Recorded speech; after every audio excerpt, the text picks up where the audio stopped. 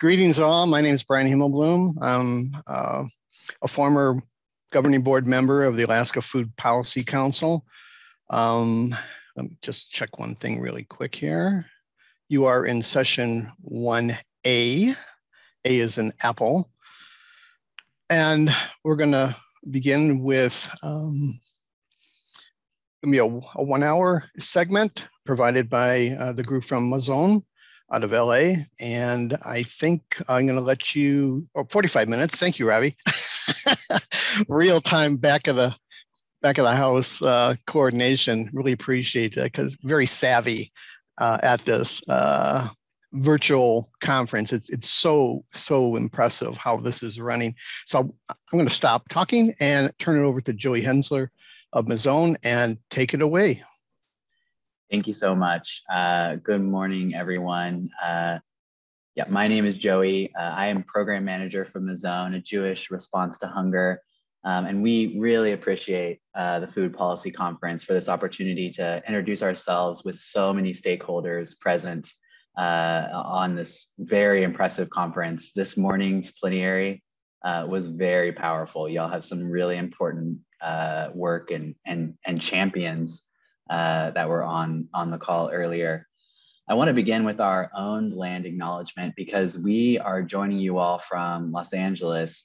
So our team is currently on uh, Kizh and Chumash land, land which is culturally significant and also the foundation on which food is cultivated, future generations are raised, community wealth is built, and the sovereignty of a people is preserved. Uh, Mazon is committed to working with Indigenous peoples by spotlighting issues and populations that face systemic barriers to food security, by sitting at the table and supporting the powerful work of Native leaders, and by investing in the organizations and fighting for Indigenous food sovereignty, traditional foodways, and food security for all peoples. Um, if you are unfamiliar with Mazon, um, we are a Jewish faith based organization, and it is in that value uh, of our faith that uh, you know the worth of every human being uh, and the dignity that that sacred worth demands arises our call to action and our reason for being involved uh, in our advocacy. We work to change policy so that all of us have the food that we need to live happy, healthy lives no matter if we're Black, Native, or white, no matter if we live in a city or a rural community, and no matter how much money we have in our pockets, we all deserve the food we need. Um, our work at Mazon uh, is, is multi multitude. Uh, we have loads of impressive strategies at the federal level, uh, and we have seen success around our work to ensure uh, veterans and active military service members are not going hungry on bases while they are serving our country, um, and many, many other federal priorities. We have faith based organizing in synagogues around the country, uh, working um, in states on universal uh, free meal legislation. And we also have uh, partnership grants, which is my area of Mazon, in 15 states in Puerto Rico and in June, we will be making partner grants in Alaska.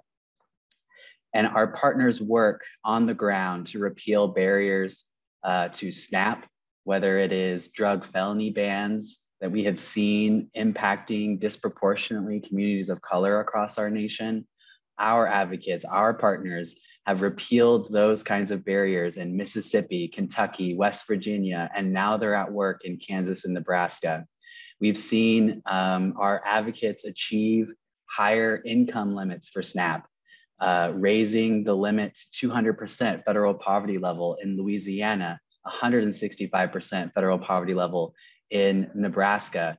This means that not only tens of thousands of more food insecure households can gain access to food assistance through the SNAP program, but also that existing uh, households uh, can receive modest raises or promotions and still maintain the benefits that they need to help put food on the table.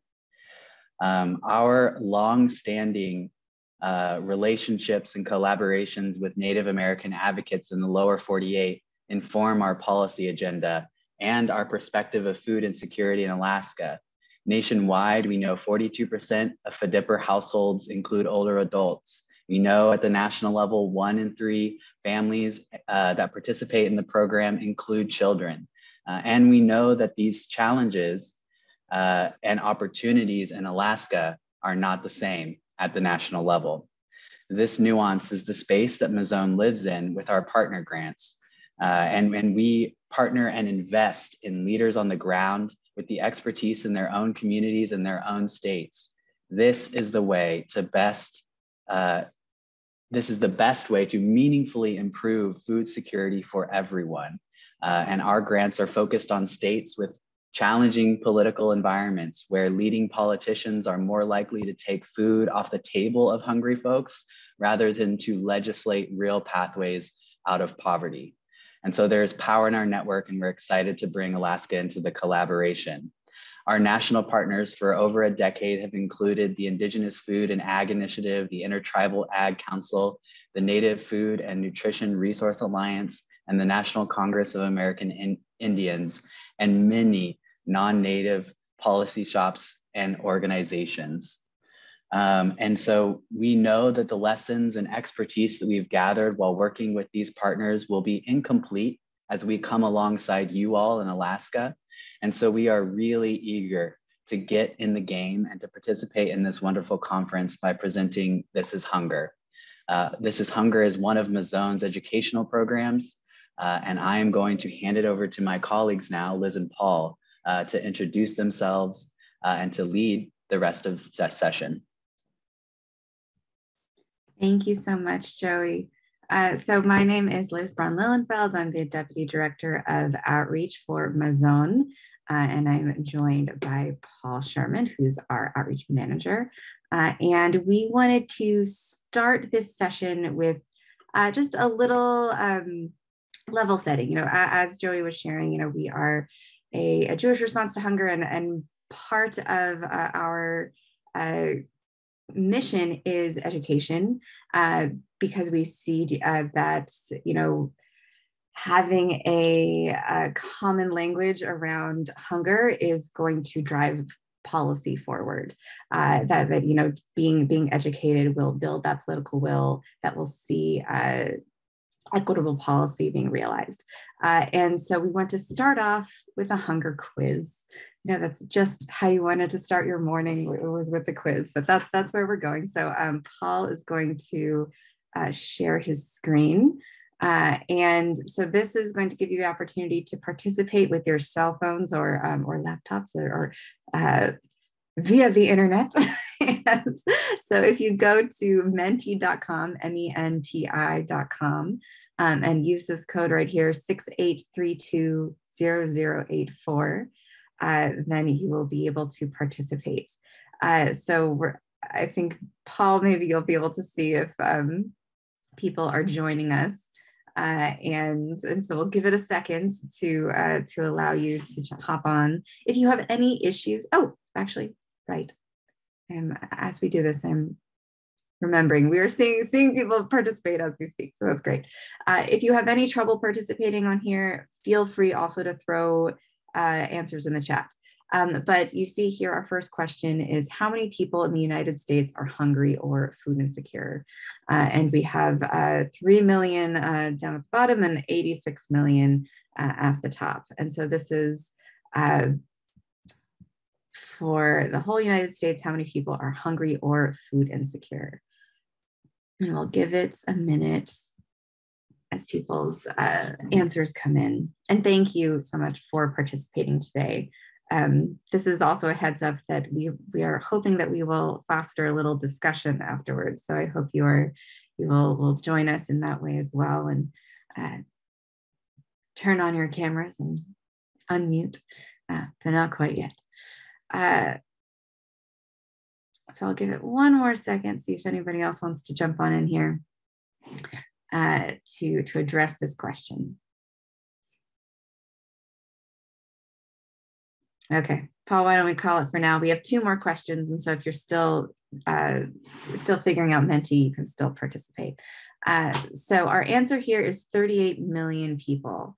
Uh, and I want to uh, expand on this a little bit uh, in that, of course, during the pandemic, we saw this number fluctuate a great deal.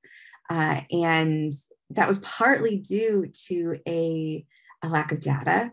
Uh, you know, we were trying to catch up to what the trends were we were seeing and extrapolate from uh, the increase in unemployment uh, and and uh, and certainly the de- decrease in access uh, to benefits uh, and you know people who are food secure while uh, while on their benefits but but no longer had access for whatever reason if they couldn't uh, you know get school lunches or whatever it may have been uh, and so mazon was estimating that during the pandemic we saw a food insecure population of north of 65 million.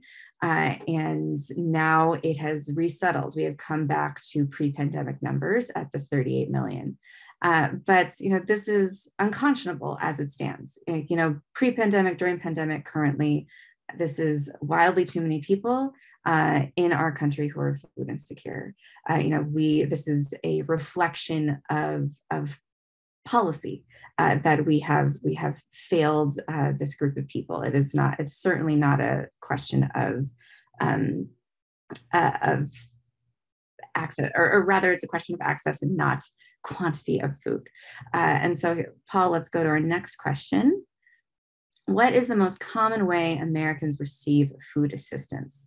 Uh, and so here we have food pantries or, or food banks government programs, uh, which of course encompasses uh, SNAP or, or, food stamps, uh, WIC, uh, FDPR, uh, as the school lunch program, and um, all, all, other things that fall under that umbrella. Uh, then third, we have meal programs, uh, and finally, other catch-all. so what is the most common way Americans receive food assistance? And we'll give it a moment.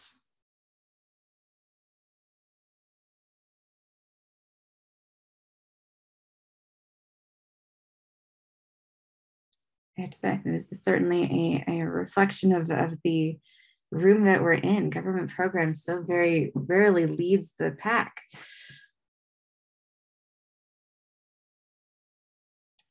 Okay, Paul, it's it's uh, Thank you. So, government programs is it. Uh, certainly, the most common way Americans receive food assistance is via government programs. Often, uh, food pantries uh, and meal programs, the, the, the charitable uh, response to hunger is the most visible uh, food assistance and, and uh, can be for folks who are not participating uh, is the uh, most known, uh, but it is indeed the government programs that's uh, that leads the pack. Uh, and our final question is going to be like so. Okay, so we've established that government programs is the most common way people receive food assistance, but by what percentage? Uh, you know, if you're looking at that pie chart, what is the slice of the pie that government programs covers? Uh, and so we have from 32% up to 95%. And I'll give it a moment.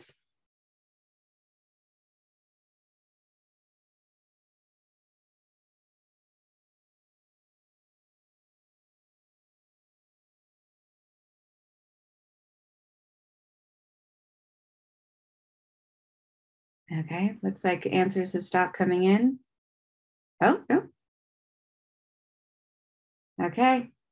So folks, uh, sorry, yes, this is, so I see a question in the chat. Is this including SNAP benefits? Yes. Uh, so uh, certainly his, as, as SNAP would fall under that, that umbrella of government benefits. Uh, and so 95% of food benefits in this country is met by uh, government benefits. And that number, I think, blows many people's minds.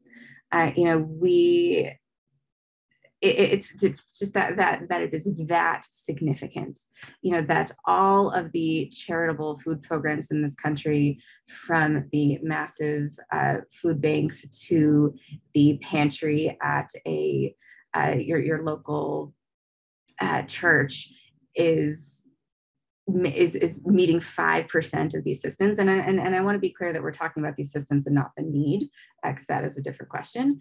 Uh, but 95% is coming from government programs. And this means that any incursion on those government benefits is a huge blow uh, to both the people that are uh, that are counting on these benefits and the uh, and everyone who is serving this community.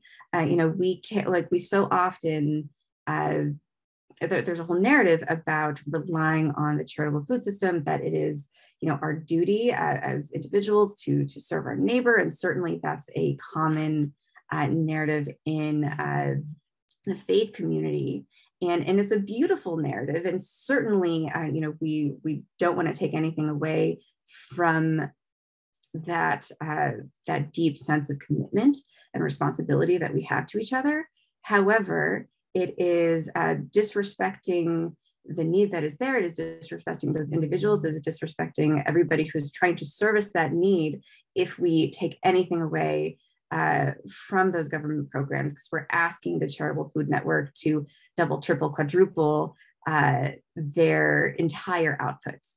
Uh, and so it is, and so that's where organizations like ours come in and why we are dedicated to focusing on advocacy, uh, because it, we feel it is our duty to protect uh, the government programs to increase access, to increase their uh, the, the benefits themselves, uh, so that we can, um, you know, because that they, only the government has the tools, has the resources uh, to address an issue of this scale.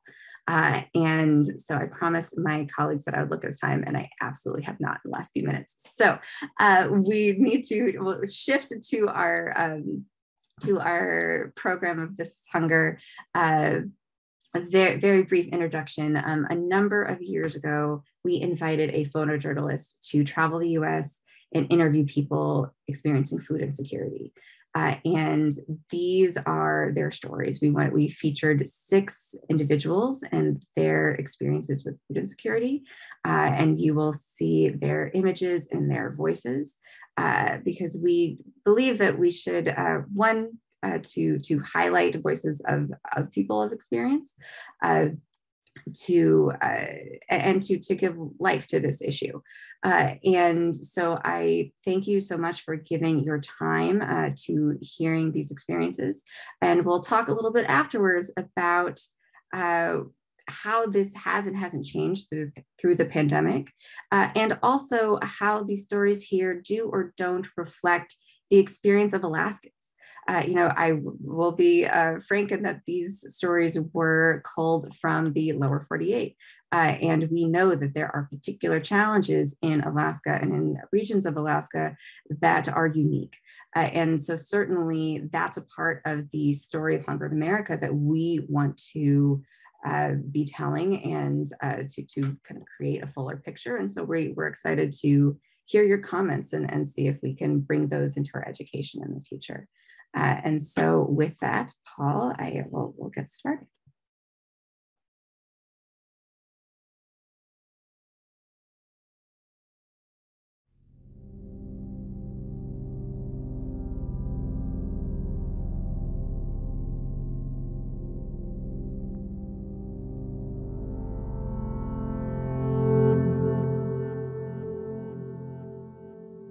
I was one of these people that thought, you know, I'd I'd work my 30 years and retire and live happily ever after. People don't realize, you know, what you got until it's gone.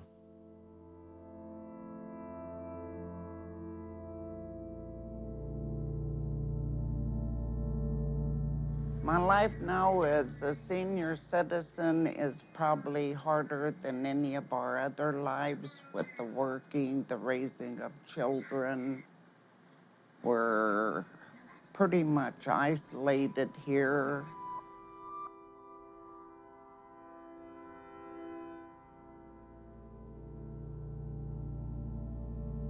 My mom's been working 20 something years in the school system. She had a job, everything was fine.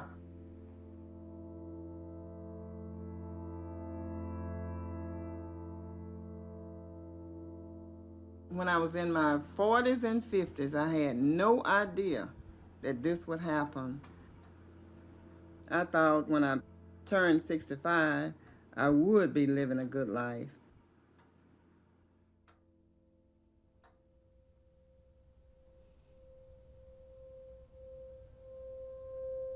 I always thought I could have a job and be able to progress in my job to be able to provide for my family. And I could list the different skill sets that I had in the military, but a lot of those skill sets don't translate into civilian life.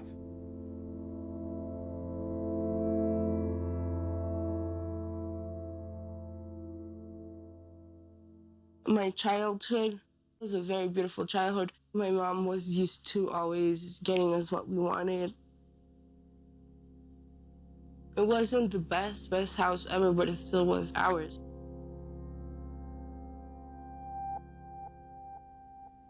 You know how they can be hungry in America? Because they've lost their jobs, they've depleted their retirement savings that they've had, they've lost their homes. For all my life, since I was 17 years old, I've served my country, been responsible, reliable, dependable, accountable. I went to work every day, did what I was supposed to do. And now I'm faced here, worried about feeding my family, and we shouldn't have to do that. It makes me feel sometimes like a like a, like a garbage can out there just waiting to be picked up and dumped. It really does. All this stress, all this pressure. I'm a nerd. I collect toys. I've always been a kid at heart. I fell in love with working with kids and helping kids. I wanted to become a teacher, but it's a small royal town. It's actually falling apart. People aren't moving in, they're moving out. The community is getting smaller and smaller. And a lot of my problem is, is I'm such a family person that I don't want to move away from my mother and my dad.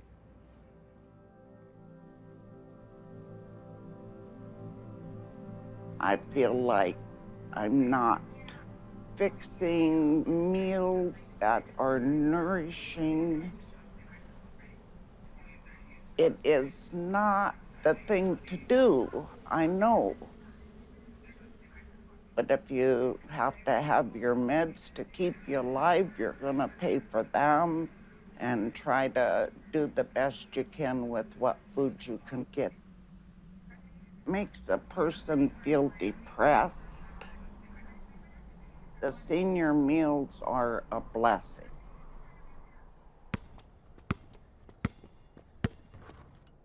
You know, I like to eat. I'm like anybody else, but we're not generally able to afford healthy foods that some people can.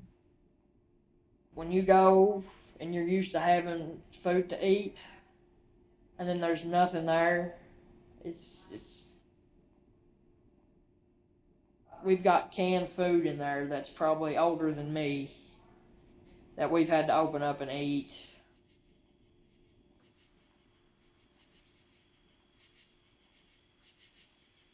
going to bed hungry gives you that feeling that you, you got to get up and eat. You, you it keeps you from sleeping. Really, it does. It's not a good feeling at all.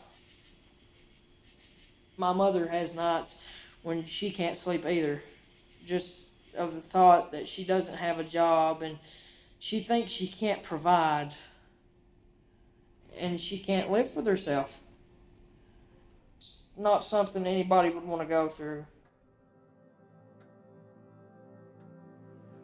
In 1957, at the age of nine, we moved the first time from one plantation to another. When I was a child, we had more more food, more meats than I have now. I changed the way I eat because I don't have the money to buy what I used to buy. Now, not being able to feed myself the way I would like to, I cook to fill me up, not so much as healthy. I always tried to eat healthy, and I'm on cholesterol medicines now.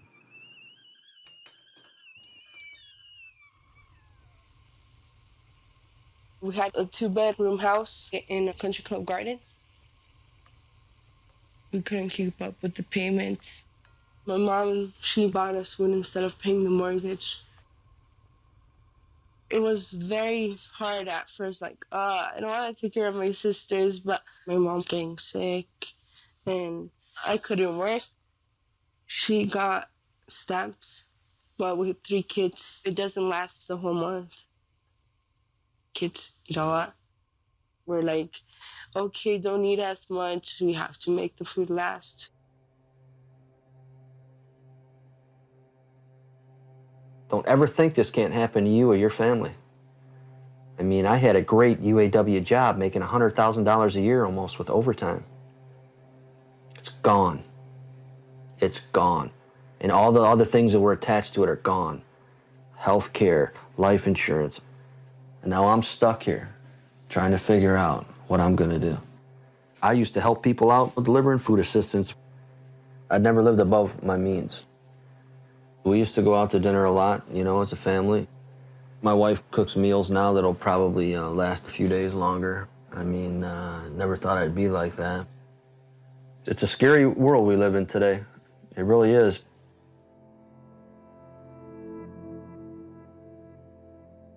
I never really had to rely on the system to support me that much because I always felt that, that was wrong. I feel that there's people more deserving of that than me. I decided to apply for food stamps because of my family. I have a wife and a son, and I'm not able with my job to support them. I don't want to have to be doing the food stamp program, but it's for those families that aren't able to make it on their income. We were skipping meals so we could feed our baby.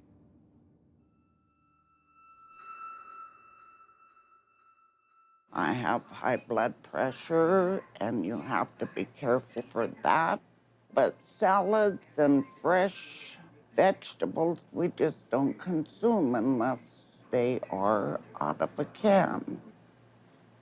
I bought a little carton of tomatoes out here to the store not long ago, which was $2.89 for just a few tomatoes in one of them little plastic things. Cut them very small and used very few at a time, just like almost enough to give you a taste.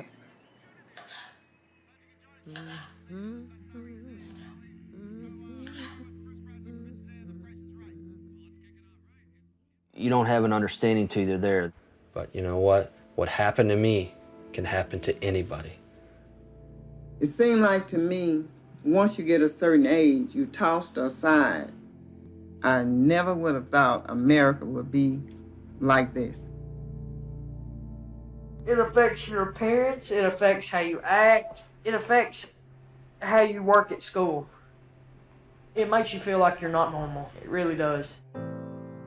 It's it's not something somebody should have to live with in their life. And there are kids right now, younger than me, having to go through it. Whoever can help with these programs, please do so. Because there's a whole bunch out there, a whole lot of people out there that I'm sure are hungry. You ever heard people talk about they're standing in line in the grocery line and somebody pulls out the, the bridge card and they've got a fur coat on? You've you ever heard things like that? I always thought I was, you know, living a pretty fair life. Six. That comes out to about 90 cents per person per meal. It's less than $18 a day. ought to feed a family. And even apply for public assistance. It's not your finest moment when you never had to, you have enough food. And here you have people that have lived their whole lives working in, in, in United States of America that, that have no food. No, demand accounting. Demand that people be held accountable for their actions. I kind of wish I, you know, I could scrape up some type of food to get um, a decent meal. Um, if I had to add anything to this, it would be to um, get off of government assistance.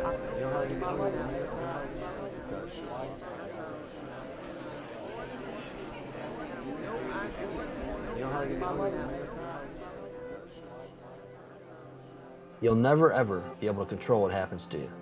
You can think about it all day long, you can plan for it.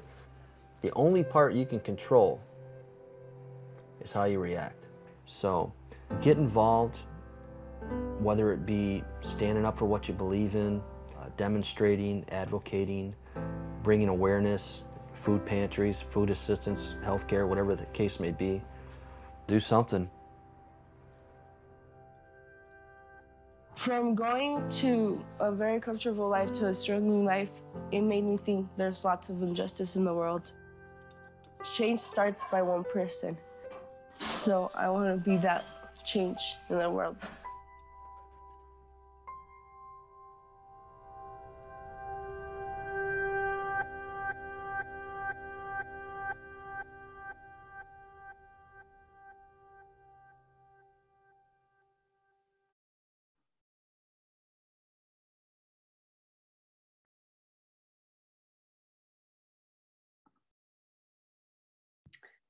So, thank you all for taking some time to watch those stories, listen to those stories with us. Uh, so, I just wanted to invite any reflections that you might have. Uh, you know, whether it's something that resonated with you uh, from from that video, or uh, something that you see is missing from that narrative. Whether uh, certainly, you know, as I shared before, uh, this was curated before the pandemic. Uh, and so we, we certainly know that uh, the circumstances uh, in which some people found themselves uh, uh, experiencing food insecurity have changed, although often uh, the stories can be quite similar. so there's there's that track, and then certainly the differences uh, that we could generate from this room uh, of what the experience might be in Alaska than from the lower 48. Uh, and and because you know we see it as our job as educators to bring uh, the that experience to everyone that that we encounter uh, and so we'd love to uh, to hear from the folks in this room and certainly not to put anybody on the spot, but I heard from our colleague that we have some of our uh, legislative champions in the room from our, our partners. Uh, and so I know that there's a great deal of expertise here uh, to that we could share if you're so willing. Uh, so, and I know we've had uh, some comments coming up in the chat. Uh, Claire, I did want to call you out. I'm so I'm so pleased that you've been participating, um, and we're so glad to to hear from you is that you're the program director at St. Francis House Food Pantry in Anchorage, uh, and you're sharing some uh, some of the ways SNAP can be utilized in Alaska. Uh, that's but please, if there any any folks want to uh, either unmute and uh, and comments or put your comments in the chat, we'll give you a moment to do that and I should have the power to unmute people. I, I can't remember what kind of controls we have on this because thank goodness we don't have any Zoom bombing going on. Mm. Um, but uh, people raise their hands. I'll, i can try to look across the screen or um, uh, I'll let people just try to unmute themselves. And if you have a problem, unmute. Oh, oh, thanks, Robbie. Uh, everyone is able to unmute themselves. Okay. So we have about 10 minutes before this session ends. So go ahead, people. and certainly, and if, if you want to uh, to mull a bit, we, we also have uh, one more activity that we wanted to uh, share with everyone, and then we can come back to a Q&A at the end if you have questions about this program or about our work uh, or want to uh, share anything with us about yours.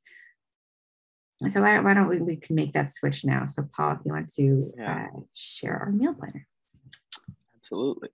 Oh, we do have a question from Stephen. Oh. Oh, how do we hear about the Alaska Food Policy Conference? Well, Uh, from our colleague Joey. That's how. so, um, so we'll, uh, we'll we'll hold that for now so that Joey can pop back on for the Q and A at the end and um and, and share that connection. Sounds great. So uh, hopefully everybody's able to see uh, the activity that's on my screen and let me know if anything is too small to read. Um, but basically for this activity, what we're gonna do is we're gonna ask everybody to essentially act as if you're in the grocery store uh, preparing a meal for yourself. Um, you'll see five categories here. We have vegetables, grains, fruits, protein, and dairy. Um, so what we ask is that you just pick one food item from each category and sort of on your uh, by yourself if you have a pen and paper or maybe just on a you know electronic notepad or if you are a numbers person and you can do basic math in your head that's great too.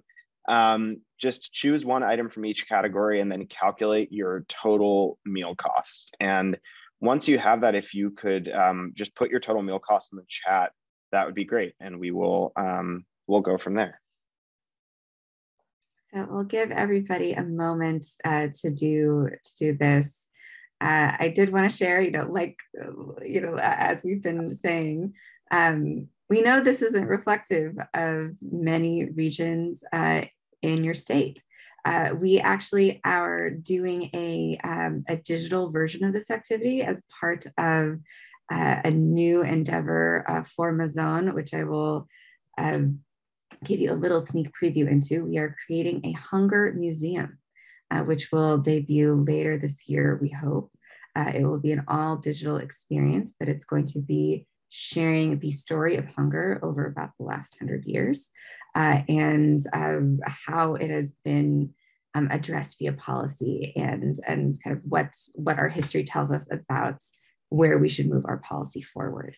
Uh, and this, this activity will be part of that experience. And we hope to do a number of skins of it. Uh, and I think it would be really fascinating to do a uh, to do something that reflects food prices and food access in Alaska. Uh, and so, you know, if you're doing this and you're going like, this is produce doesn't cost as much or whatever it is, then then one, we'd love to hear that feedback. Um, and two, we hope to reflect that um, in another iteration of this activity.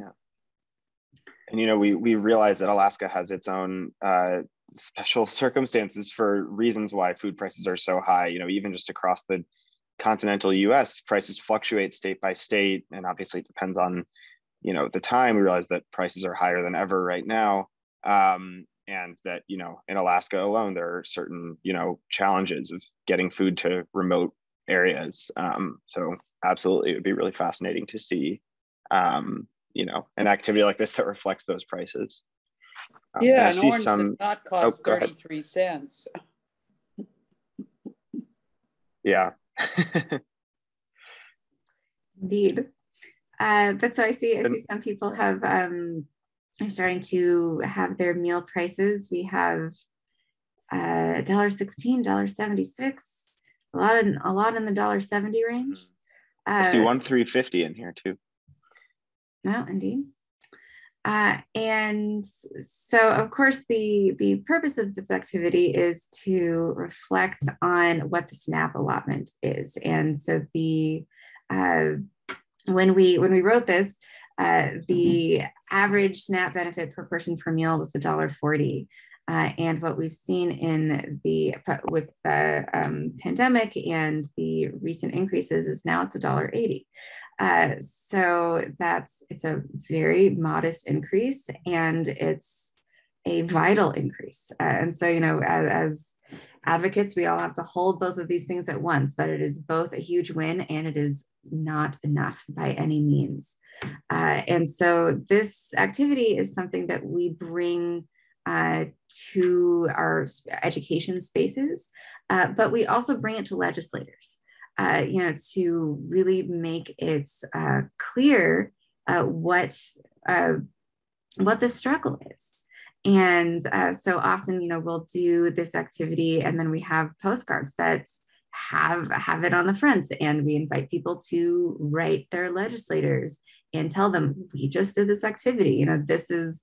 a, a reflection of the struggles that folks who are food insecure are having and like can you do this can you have a meal that you want to eat does this meet all of your needs uh, and and for us as uh, you know as a jewish organization we come to this work from a base of uh, a kind of a values orientation uh, and for us you know we constantly come back to it's not just about feeding people it's about feeding people with dignity It's about meeting people's uh, whole needs, uh, you know, so that they're eating what is meaningful to them and what is uh, reflective of their culture and of their family and of their celebrations. Uh, and so a, a modest snap that is just getting calories in people's bellies and not even that you know people's um, SNAP benefits are running out after two or three weeks into the month uh, but that the goal is not just enough food. The, the goal is eating with dignity. Um, and so I, but I, I, see the chat going off, so I don't want to lose mm-hmm. any any comments there. Um, but and I'm also noticing the time.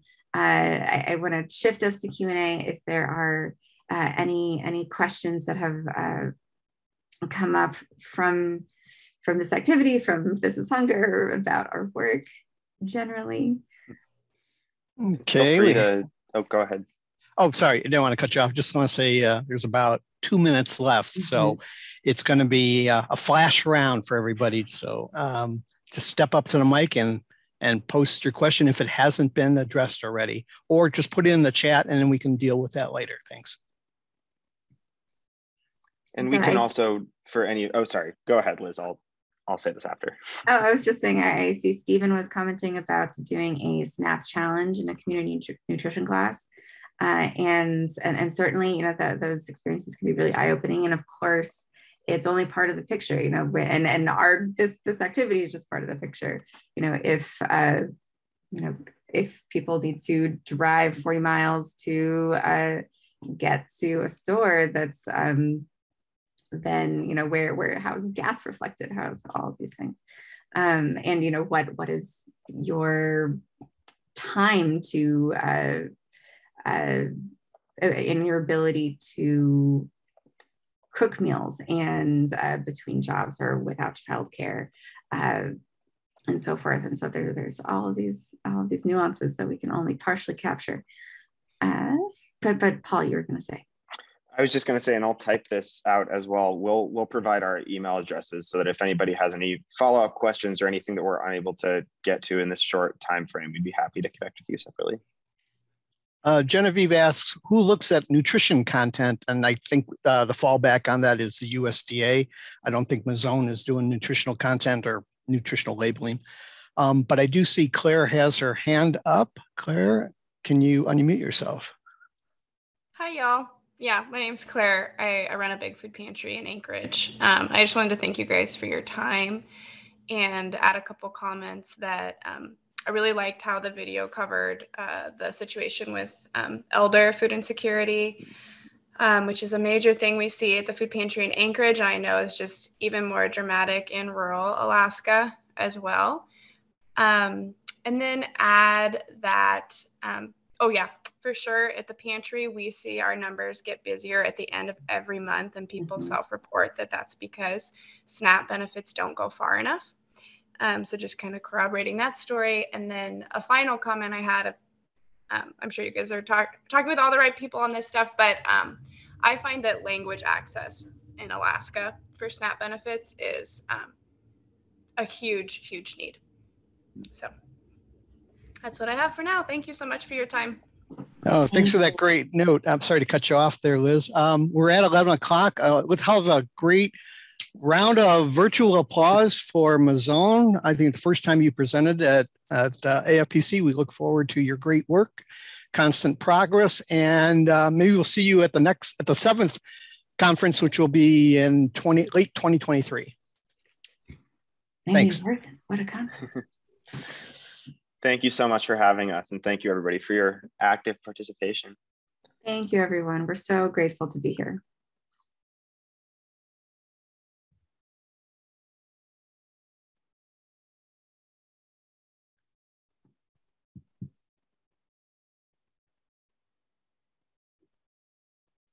Uh, so with that, um, I'm trying to transition here virtually.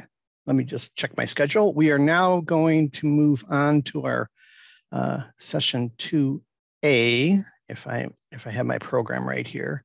on uh, Farmers Market Coalition, I believe Ben Feldman, uh, also from out of state, yay, uh, will be presenting uh, his talk. Um, ben, uh, the floor is yours. Thank you so much. Um, good afternoon. Um, thank you for having me. Um, I'm going to go ahead and let's see if I can get my slideshow up here real fast. Um,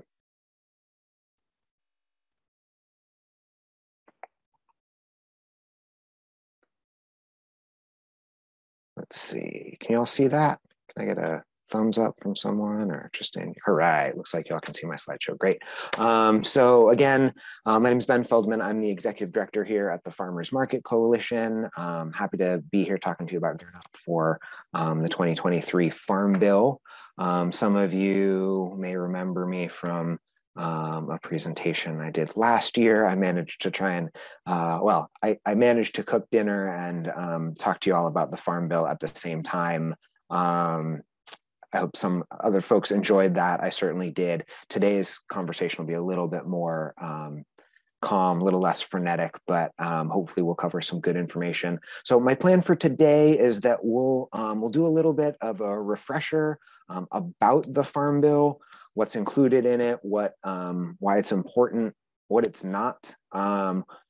We'll get some feedback on um, your experiences with the Farm Bill programs and something of a listening session.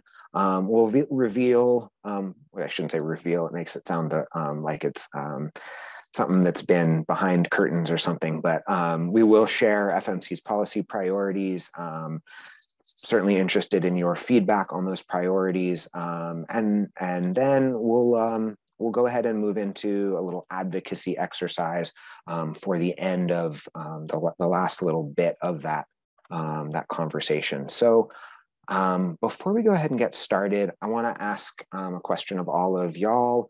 Um, the fir that first question is, have you contacted your member of Congress in the past? If so, what about? and then a prompt for you to think about as we prepare for the end of the session, we'll, we'll do this little advocacy exercise, um, and I'll drop this in the chat in just a second. Um, what are you most proud of about um, your market, your farm, um, your work that you do as part of this, and what evidence do you have for that? Um, you're welcome to put that in the chat. Um, but I want to start with this first question. you know, what um, you know, have you contacted your member of Congress before? Um, I'd love to see, you know, whether folks have experience contacting their members of Congress, um, and if so, you know, what topics they've contacted them about. Um, so feel free to do that, um, or if folks want to come off, raise your hand, come off mute, however you want to do it. Just kind of curious what the level of um, experience here with uh, the Farm Bill and policy advocacy is.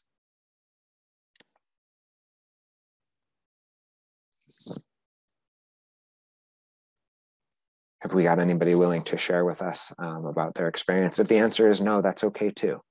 Hey, Ben, this is Robbie. I don't know if you can hear me. Yeah, I can hear you. You've got some good echo behind you, though. Okay. Um, I'll just type it in.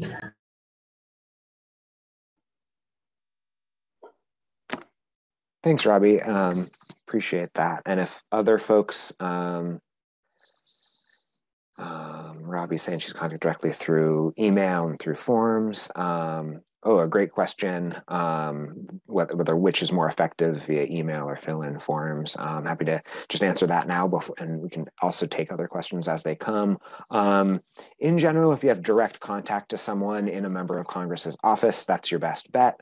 Um, phone calls and letters are generally preferred over email or email forms. And then emails, again, if you have a specific name at someone at an office, that's a great way to do it.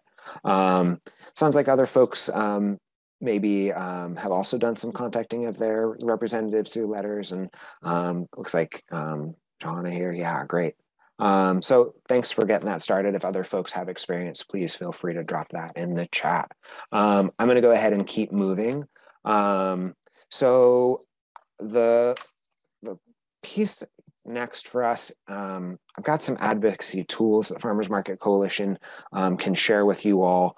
Um, if you join us at farmersmarketcoalition.org slash advocacy, we've got um, all these tools listed. I'm not going to go into them, but while that slides up, I just want to um, take a minute to talk about why we do policy advocacy, um, why it's important, and um, you know, really from my perspective, um, the you know the the purpose of um, our political system you may hear people say um, you know our political system is not broken it's functioning uh, functioning exactly as it's intended.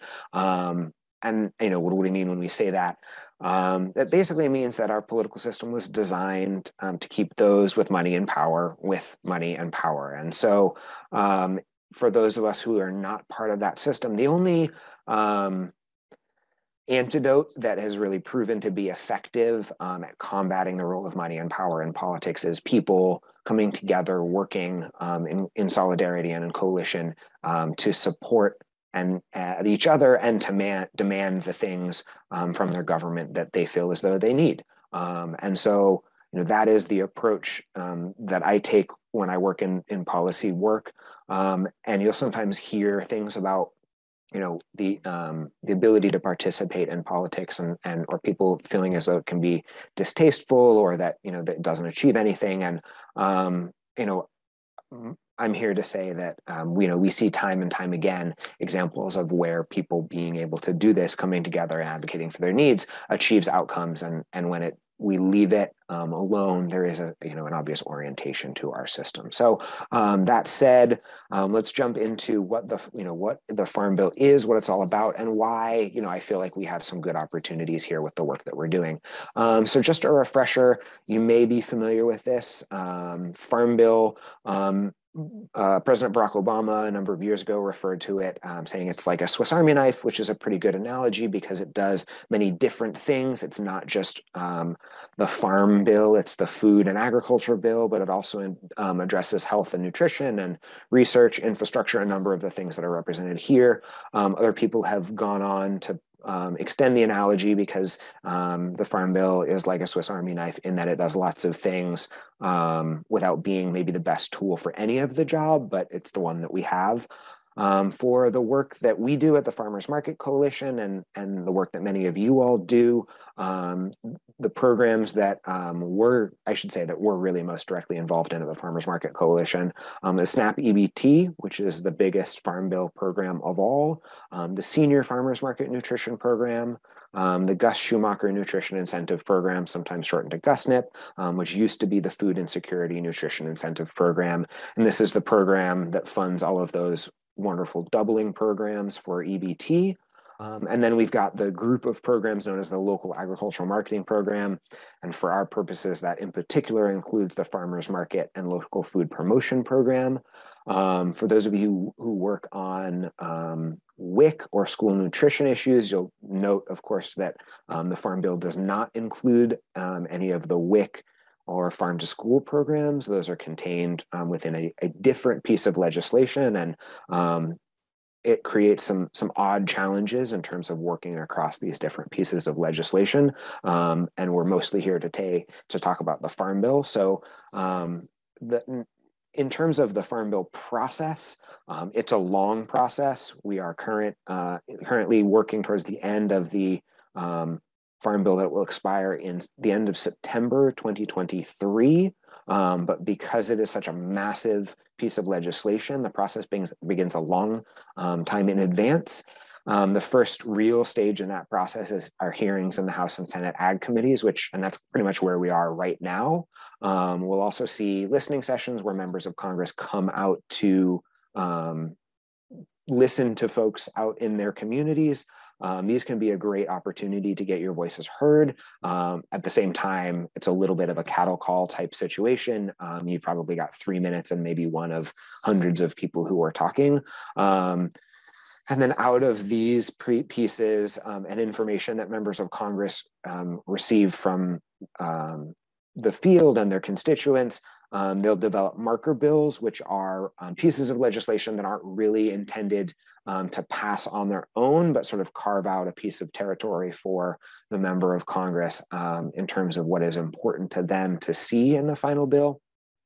And then all of those things will come together with everything that was sort of in the last farm bill that doesn't get changed. Um, the House and Senate will each pass their own version, um, and then they'll come together in a, a conference committee. Um, and ideally, it all gets done before um, the current farm bill expires in September, September 30th, 2023. Um, but the last two farm bill cycles, uh, it has expired. So um, reasonable to expect that that could happen again. Um, a little bit of a refresher on um, what happened in the last farm bill in terms of the work that we all do as it relates to farmers markets um, and local food. Uh, you, you uh, if we go back to this slide here, um, these programs that are these grant programs that are part of what's now known as the local agricultural marketing program prior to the current farm bill were all separate grant programs with their own individual funding.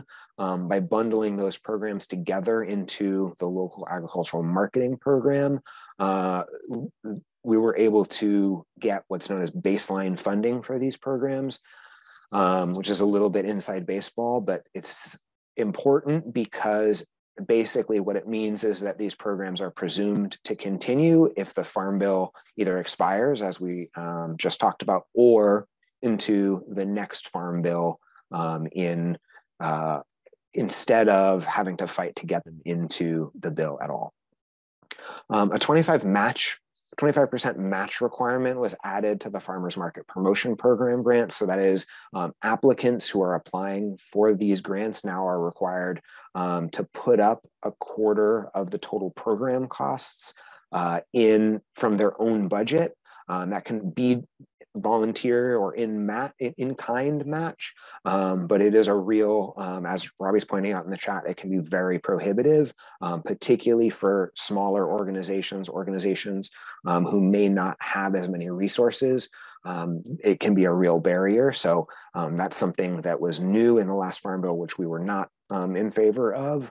And then there was in particular, there was language directing USDA to resolve the, an issue that has been um, a challenge for markets in um, for quite some time, and that is um, basically com- trying to come directing USDA to come up with a pathway for markets um, to market operators to accept SNAP using one machine and one FNS number across multiple locations. Um, and that's something that has not has not been a, a ton of progress on, unfortunately. Um, so the um, USDA ha has been looking into this issue since the last uh, farm bill, and while they certainly have had other things um, on their minds, uh, we know that this is a priority for our community. So, um, with that in mind, I'd love to go ahead um, and open it up. If folks have experience with any of these programs, um, you know what has what has your experience been? What problems might have you might have you seen in in trying to work with some of these farm bill programs? Um, are there changes that you could see making to make them better? And then if you've got more like clarifying questions or strategy questions happy to to get into those. And then the next thing we'll do is we'll we'll take a look at the fmc policy priorities uh, and and get kind of reactions to those. So curious if if anybody um, either wants to put in chat or um, raise their hand, open it up. And everyone should have the ability to unmute themselves. So uh, Brad, go ahead. You have your hand up. Thank you. Thanks, Ben. Hey, What's I just up, had Brad? a question um, about EWIC and Yeah. uh, where that fits in and funding for markets or uh, folks that will be taking EWIC coming up that change is coming. And hi, Ben. hey brad um, yeah so you know ewic is one of those programs that's not farm bill related but it's worth delving into for a second because we've got like a coming um, like WIC is about to get sandwiched between a rock and a hard place here. Uh, what you know, we're seeing um, the move to electronic WIC. Uh, states are mandated to move to eWIC for the broader program, um, and that change um, is is basically you know we're all of the last states are coming online with that here um, imminently. Um, we the WIC Farmers Market Nutrition Program is not required to go electronic, um, and we have been encouraging states to keep that as the at the paper vouchers as long as possible because there are, frankly, if we're being honest, there's no good electronic WIC solutions available for the farmers market field. Um, they are being piloted in a few states, but the outcomes so far have not been great um, for all of the reasons you can imagine, right? The, all of the same challenges the SNAP program faces. And then there's an added hurdle that there's no legislative, no legal authority to do what the SNAP programs do with the tokens. So there's a real problem there. The the thing that's changing now that's making the situation potentially more problematic is um, the banking institutions that support the paper checks in a number of states, and I'm, I'm seeing you nodding, and maybe Alaska is one, um, are phasing out their support for that. So, um, if that's something that folks want to talk about, um, I'd be happy to. Maybe we could um, spend some time strategizing on that if it's um, something that's of current concern. We're seeing Kentucky is definitely a state where this is like really coming to a head, and and it's going to happen this year where they're going to push to do an electronic WIC FMNP program without any pilots. The only place we know like that have done pilots recently has been New Mexico. So um, that's going to be a place for everybody to be looking as they um, move into their second year. That was my second question. Who can we connect our state reps with? Another state that is really figuring out New Mexico in Tennessee? Yeah.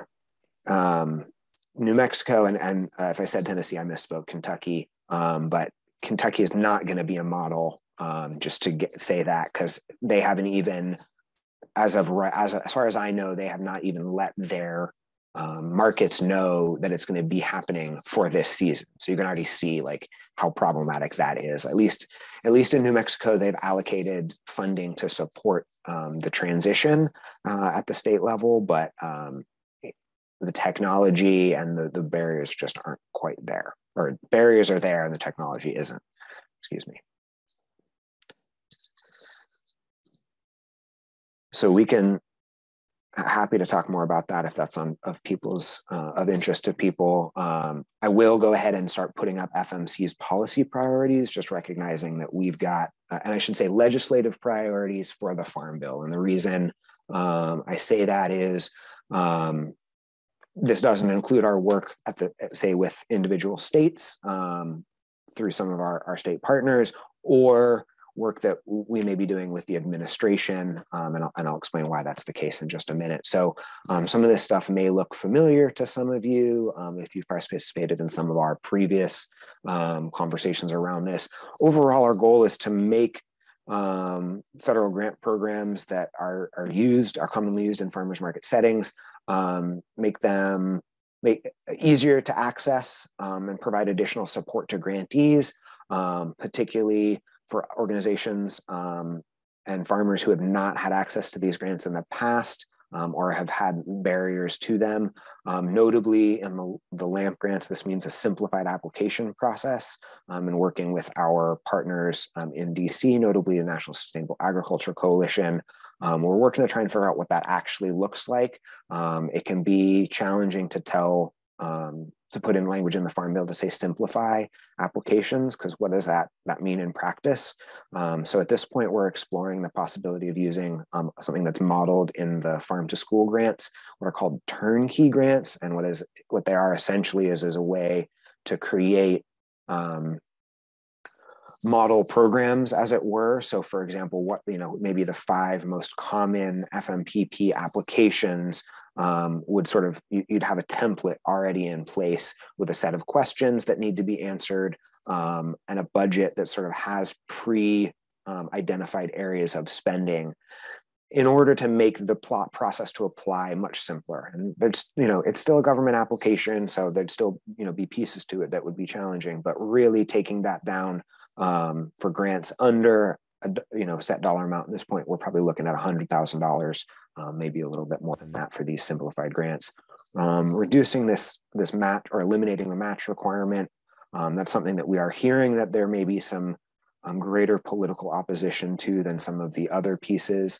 Um, and then funding for training, outreach, and support activities again trying to model this off other um, federal programs like what we are seeing um, developed in some of these grant programs where they create centers that are designed to support grantees and potential grantees as they go through these these application processes and the execution of their grants so that they can do them more effectively towards the goals of the program but also so that they are um, more equipped to understand what it is and what is involved in applying for and then administering a federal grant because sometimes not sometimes often we see these organizations um, take on grants without really understanding what it means to administer one and that is that is easily can easily be as much work as applying for and doing the programmatic work just going through um, and the regulations to make sure that you comply that your policies are in order um, and then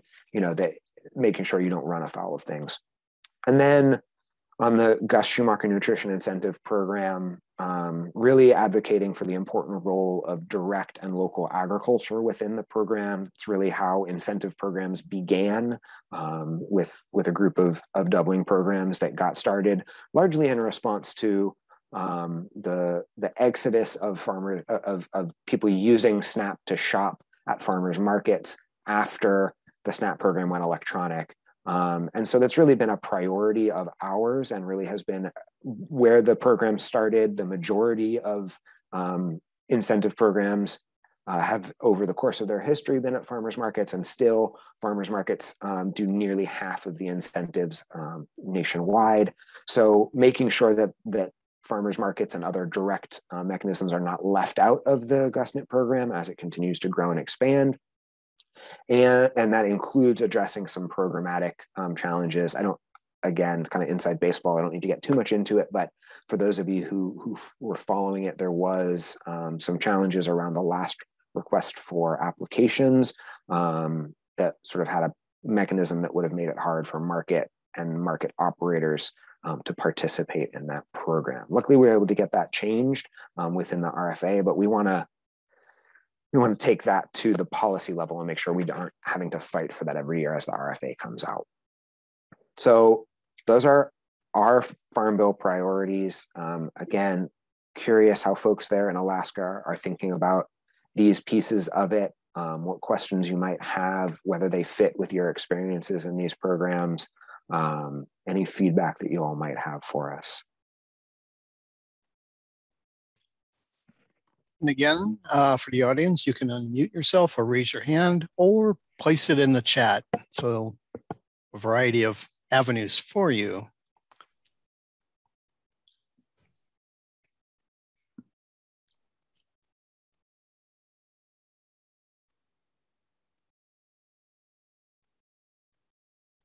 I'm okay with a little uh, little silence here um, as we give people a time to process and ask any questions.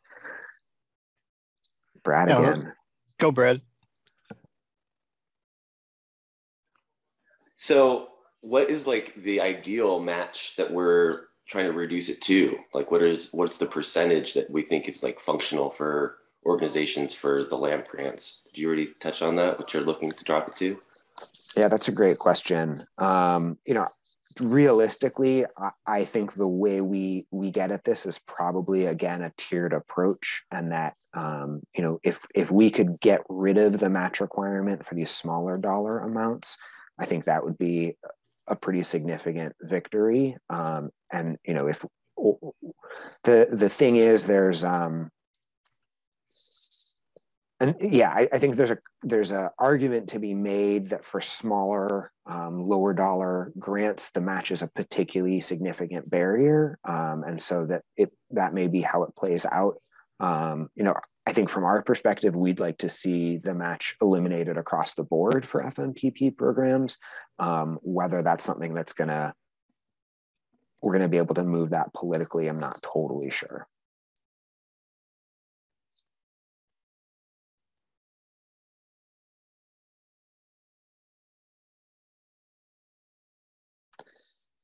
Um, ben, this is Brian. I, I'm just wondering, uh, you know, as we're coming out of COVID and a lot of the ARPA mon- uh, monies have been used to supplant things, um, do you see s- some kind of, um, I don't know, challenging situation where people have shifted um, into pandemic uh, relief and then may have um, been led led astray maybe because of all the um, challenges of, of running that program and then now flipping back to these established um, programs from the federal government have, have you heard from people who are just you know probably just just really burnt out yeah i mean you know uh, you know, the, another question, you know, sort of for folks, if folks have experience with the um, the latest, you know, the pandemic response grants, the PRS grants that have just um, started to finally flow. Um, obviously, that was something that was supposed to be a simple process um, and has gotten more complicated. Um, you know, my response to that is um, it's it, there's been a lot. I think for everybody, um, at, at all levels to try and track and deal with in terms of engaging um, at the you know with the government uh, around the pandemic some you know some really challenging some very supportive i do think for once we may finally have some people working at usda agricultural marketing service who at least want to get it right um, and the places where they get it wrong is largely because they don't they don't yet know, um, and through you know the constraints of government. Um, I think one of the you know we may be able to use some of these examples of what were supposed to be simplified per applications or programs to improve upon these but it's i mean it is it's a little overwhelming for everybody us included um, to try and keep track of all of this stuff uh, and all of the opportunities and then try and wade through um, the, the, challenges of working with our, our, our, federal government on them which is you know part of what you know we try and do here at the farmers market coalition is try and as much as possible make that a little bit easier but i am you know it, it is it's it's definitely a challenge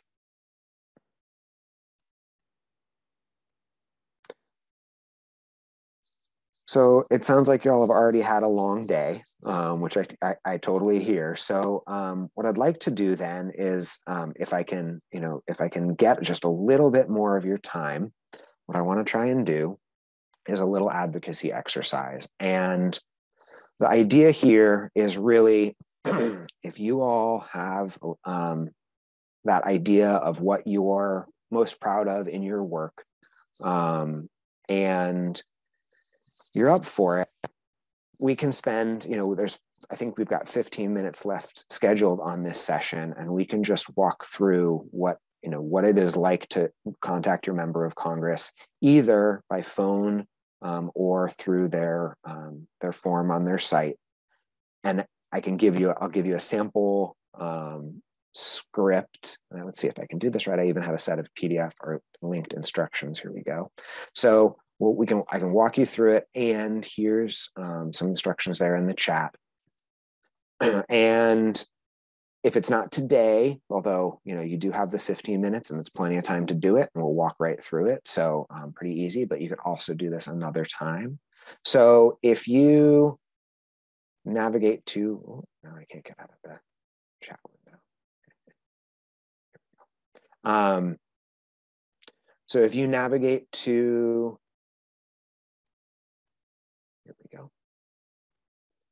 Congress, congress.gov slash contact us. So I'll go ahead and do that with you so you can see what, what we're doing. Um, and then within the box, you can right here, so it comes up, you can put your address in. Um, I don't have an Alaska address, but I'll just uh, put the state. Then when I do that, it'll bring up on the next page, members of Congress, right? And you can choose who it is that you'd like to contact. So let's just say we're talking about Lisa Murkowski, for example. Um, you can see that it has address. So if you're interested in writing a letter, um, you can write a letter. Uh, you can make a phone call. Uh, I would um, encourage you to go ahead and make a phone call today. Um, that way, you don't have to do it another time, although doing it again is great. Um, and well, heads up on letters. Um, if you ever have urgent matters you want to communicate, um, mail to their um, Washington office is usually not a good route. All of that mail, federal mail, gets inspected through a lengthy process, so it can take a little bit for them to get it. If you want to get it to them quickly, you can send it to their offices in their district. Um, so the next thing we'll do is we'll get a call script for you, but I'm just walking you through where you can see. If you prefer to email them, you can click on their name and then they won't usually on here you won't see their an email address but if you go to their website um, excuse me usually got a contact button and then an email and that'll bring up the contact form um, which as robbie was asking um, you know is that okay to use it's certainly good to use um, if you're providing, you know, if, if uh, general information and that's your um, your only avenue, it never hurts. Um, if you have a direct contact for a member of Congress, um, definitely better to use that. Um, so once you've figured out who you're going to contact, what their contact information is, I now have a little script for you. Um, and on the script, this is something that you can use to reach out to your members of Congress. Um, the reason I brought up this question earlier of what it is that you're most proud of about your market and what evidence you have for it gets to this first piece in yellow. If you can explain to the member of Congress why, um, you know, why and how your work is impactful, uh, you're going to be much more effective. Members of Congress love data. They love stories. If what you have is a story, an individual example, that's your evidence. That's great. That totally works. Um, they really like to cite statistics and they really like to have stories in their back pocket that they can tell. Um, and then the other piece that for um, for helping to really help them understand the work that you do and also to have wonderful photo ops. We also love photo ops. Um, we'd encourage you to invite them out to market or um, to your farm, to whatever work that you do so they can see it in action. It always cements the, the work really clearly and um, it helps to um, it helps that the work that you all are doing is is much more interesting than many of the invitations that they get to go to meetings or, or things like that. And then of course if you can have a role for them in whatever activity that you're doing that is a great and great engagement strategy. Above all else um, our politicians do love to talk. So if they have an opportunity to talk oh i should say above all else they love to talk in front of cameras. So if you can give them that opportunity um, then you've really helped them um, feel good about, about the work that they're doing and, and give them a platform so that's uh, really all I have for you today. I would love it if I could get some commitments of folks who are going to reach out to their members of Congress in support of, um, in particular, farmers markets. But um, you can use this as the basis to develop any sort of strategy. I'm seeing a thumbs up. Um, Brian, Brad, 100. All right. So it sounds like we got some commitments. And um, yeah, unless there are other questions, we can leave this time for folks to actually do this activity, copy and paste it out of the PDF, um, or just write it down in your own words. Um, so I'll go, I'll, I'll, stick around for the next little bit for anybody who wants to chat policy. Um, but other than that, I'm done with my presentation. Well, so great, Ben. Uh, you finished under time, way under time, um, which, which is really excellent because now we can open it up for you know other questions that are still on topic um, for this session. Um, we have about 10 minutes left, so I would encourage everyone to you know do do your uh, online homework right now if you feel like it, or as since we still have Ben in the in the uh, spotlight here, um, something that comes to your mind. Brad, go man, go. Hey, uh, Ben, you want to talk a little bit about Farmers Market Week and that opportunity for folks in Alaska, and maybe about like fly-ins and like opportunities that uh, people can actually go and talk directly to a representative or something. Love to hear about both of those things. Yeah, yeah. So um, as of right now, so I'll do the second one first. As of right now, there's still a lot of caution around um, COVID, um, although you know that may be changing um, here in the near future. Some a lot of members of Congress have not been doing in-person visits, so um, that's part of why we're sort of focusing on these types of virtual opportunities um, to share your your feedback with members of Congress. Although um, that may open it up, and we may have some. Um, I mean, it almost certainly will. We will almost certainly start seeing fly-ins happen more regularly as we get to the Farm Bill. Um, so keep an eye out for that. We don't currently have plans um, for that, but um, if we do, you'll, you'll all definitely know.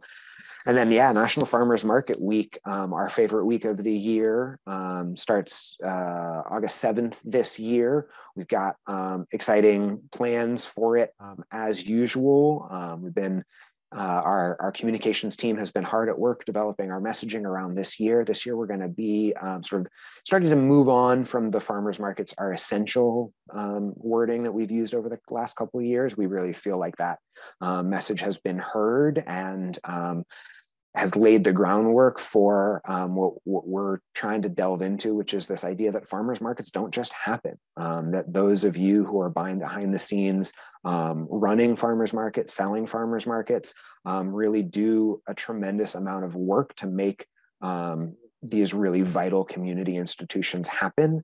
Uh, and so it's, you know, this week, this year is a real focus on the role of, of market operators in particular. Um, but it is, as always, a huge celebration of um, farmers markets and all they bring to communities. It's a great time to invite members of Congress out to your communities. Um, it's also a great time to have celebrations and, and think about really um, how to engage your communities. We will be um, doing, again, we'll be re, um, we excuse me, we'll be bringing back our uh, farmers market poster contest. So for those of you who might remember that, we used to do um, a contest where you could enter your favorite uh, farmers market poster advertising your market into a contest. Um, we're going to be doing that again. Um, and then our toolkit for National Farmers Market Week will be released in early June. That's your kind of playbook, your guidebook um, to give you that, you know, um, everything that you need, really, soup to nuts, and how to plan a, a marketing campaign around National Farmers Market Week. Uh, includes a proclamation template, which you all have been so successful at, at utilizing um, in order to get uh, that also declared Alaska Farmers Market Week. Um, so we actually, speaking of which, someone asked for that like as early as um, this week. So we'll be doing the proclamation template even earlier, but still part of the toolkit. Um, so definitely look for that coming up. Um, and again, you know, it's just it is such a fun um, such a fun time. It's really um, a great way to see all the love that that people have for farmers markets, and it, people get real um, interesting with it. Uh, Minnesota has done some really fun celebrations with um, zucchini races and corn shucking competitions, and um, so you know, lots lots to do there too.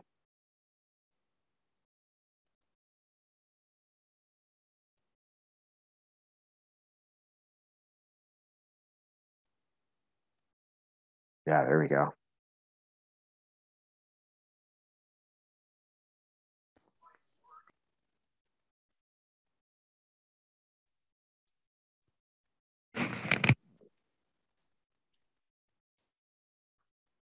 Okay, maybe people just thinking about things. A lot of great information was provided. There's a lot of great links that are being saved along with the recording of this uh, presentation, which I've been told will be available for the next six months uh, once uh, things are cleared up uh, on that. Um, I see Megan uh, is, is, here and she's with uh, Farmers Market also. Megan, do you want to, yeah, celebrate yourself and you want to get on, you know, speak, girl. Hi, I don't know what you want me to speak on. Um, I'm the local foods coordinator for the Alaska Farmers Market Association. So um, we work with the Farmers Market Coalition pretty closely. We're working on um, their new uh, what FMP, FMPP grant together, um, which will be for um, Farmers Market Week, National Farmers Market Week this fall. So some exciting things coming there and um, just on data collection too. Yeah, so uh, putting me on the spot, Brian, but um, if anybody has, you know, farmers market questions, um, the Alaska Farmers Market Association has a really robust website that we are giving a little revamp um, before the summer season and lots of good resources there, many from the Farmers Market Coalition. Um, and we also have an online directory, which is amazing too. Uh, coming soon, I'll just give a little shameless plug since I have the spotlight for a second. Uh, we have our Alaska Farmers Markets Toolkit that will be coming out this spring, um, which is um, just a, a conglomeration of a bunch of resources we've compiled from um, other farmers market associations, from the Farmers Market Coalition, and from our market managers around the state who are established to help new farmers market managers um, have a roadmap for how to start a farmers market in their community. So we're really hoping that that opens some doors for people and makes it feel accessible for them to um, start a farmers market so they feel empowered to be in that leadership role and yeah, it's very exciting. So that will be up and released uh, soon. There's a little teaser tomorrow, another shameless plug, uh, during the lightning sessions. Um, Brian, don't ever give me the spotlight to talk. I'll just take it over. But um, keep on going, keep on going. Yeah. got, got about three minutes. We'll we'll save the last 60 seconds for Ben for his closing. Um, but tomorrow there's a, a very quick, just eight minute presentation during the lightning round presentations in the afternoon um, that will tease that toolkit. So if you're interested in learning a little more about what will be included in that, um, I will go over that and also give a better overview, more prepared overview of what AFMA does um, as well. So with that, thank you for that space. Uh, thank you, Ben, for all the wonderful information too, and for your partnership with us and um, continued collaboration together. Looking forward to um, the exciting things coming with your new grant as well. So thank you.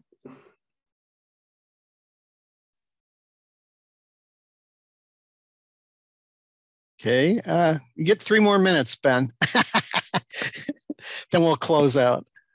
Yeah, um, trying to think about a little. I got three minutes, song for three minutes grab the guitar. No i'm just kidding. Um yeah well um happy to be here. Always um, enjoy talking with you all. Um I, megan thank you for that. I, sh- I certainly should have mentioned that piece um, about the exciting work that, that we're going to be doing on national farmers market week together. Um yeah, the last thing I'll just remind folks is um, for those of you who are working with farmers markets in Alaska, um, Alaska Farmers Market Association is a state partner of the Farmers Market Coalition. So you have access to all of the wonderful resources um, of the Farmers Market Coalition, thanks to that at no additional cost to you um, the measurement and evaluation work um, that is part of uh, all of this is so critical. Um, we have spent um, the last 10 years at the Farmers Market Coalition trying to um, make the case for that. And, and I feel like we've finally gotten to a point where um, the farmers market sector, um, there's a lot of understanding of it. We're still behind where we, you know, where um, so many other parts of our world are on data and that's about um, sort of some of some of the nature of how this all works the decentralized independent nature of farmers and farmers market operators. Um, and yet we're also starting to get our hands around some of the, the important ways in which we talk about our impact both individually and collectively. And so uh, that's really been been gratifying and um, we're excited to keep doing that as, as part of our project so that we can make sure that you know when we talk about these government programs we're, we're showing um, why they're important and what kind of um, activities they create on the ground um, there in Alaska or um, elsewhere in the country. So um, I'm going to go ahead and just uh, drop my email in the chat in case anybody wants to contact me about policy stuff anytime. but uh, very uh, happy to have had the opportunity to talk with you. And um, I think we're right on time for me to close it out. Excellent. Thanks again, Ben. Uh, really, really great presentation. Good to see you again. Um, big round of applause, everybody, virtually. Yeah. However, you're supposed to do that. Yeah. I, we don't have the sound machine going. So um, great. Um, so we'll leave it at that. Um, I believe, let me just guide everyone here. I got my right screen here. I got too many screens open. Um, yes, I think we're going to break for the next 30 minutes. So get your lunch uh, or make your lunch. Um, check out the uh, online auction. Um, that's through Whova. And also visit the vendor booth. So I think that's about it. Uh, Megan, did I miss anything? You got it. I would say, um, yeah, have a great lunch. Navigate back to Whova. You can find the online auction, like Ryan mentioned. Um, visit our exhibitors, go in the community board and chat with each other. There's a lot of really cute animal pictures and stuff going on there, um, and some really good topics being discussed too. But um, meet back at 12:15 for our keynote with Eva Burke. It's going to be amazing. So you don't want to miss it.